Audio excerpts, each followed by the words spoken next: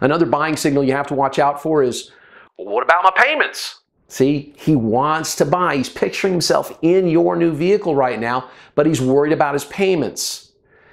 There's only one answer to that. Mr. Jones, because we do have a buyer and an immediate need, we are often able to keep people at or near their current payments. However, I do have an immediate need for your Cherokee, and I have two appraisal times open on Cherokees this afternoon. I've got a 1215 and a 1245. Which one works better for you? See, it's important, it's critical that we not just go right into payments because he's going to start thinking about payments, right? If we start to get deep into payments, well, how much are you paying now? How many more months do you have left? He starts thinking, gosh, I'm only paying 380 a month now and I only have five months left. Why would I want to get a new car and add 72 months to my payments? Don't ask these questions, don't dive into these, and don't vomit all the information. I've got a buyer and an immediate need for his 2012 Cherokee, and that's what I have to understand. See, it's important to understand this. You cannot sell an empty seat. The more information we give him, the less likely he is to show up for an appointment at the dealership. And so we've got to keep in mind I have one goal when I have this guy on the phone, and it's an appointment that shows, and that's it. Here's another buying signal. What time do you close? Now, we've already addressed this, right? If we close at 9 o'clock, I'm going to say, well, I close at 9 o'clock, but my last appraisal time on Cherokees this evening is for 7.15. Now, I've got a 6.45 and a 7.15. Which one of those works better for you? And the final buying signal we'll, we'll go with today, let's say today's Tuesday, and I have him on the phone, and he says, man, I'm interested. I cannot wait to get a new Jeep Grand Cherokee. I love the new models. I can be in on Saturday. What time do y'all open? That's a buying signal. Today's Tuesday.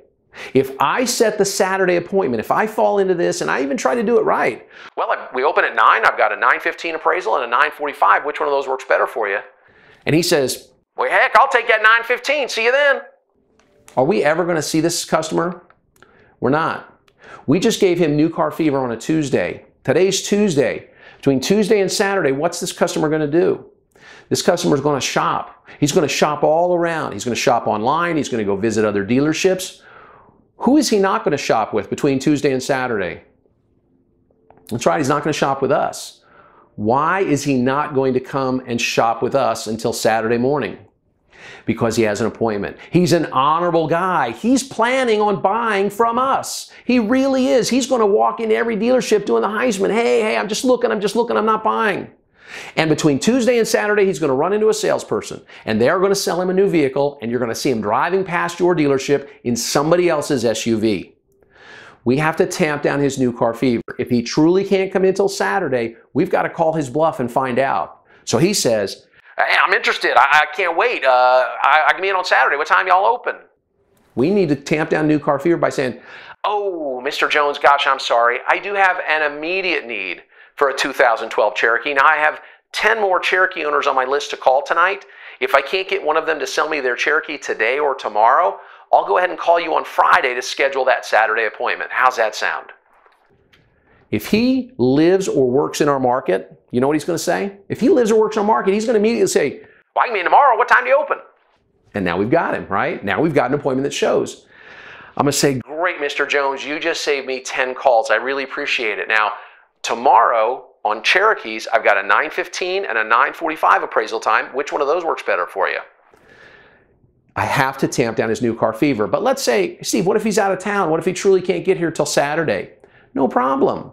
I'm going to put a note in the CRM. I'm going to call him Friday night, 6:45, 7 o'clock. Too late for him to go out and look at other vehicles. And I'm going to schedule that 9:15 Saturday morning appointment because again, I cannot sell an empty seat.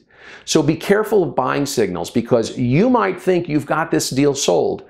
And remember, the more information that you throw on them, the less likely they are to show for an appointment.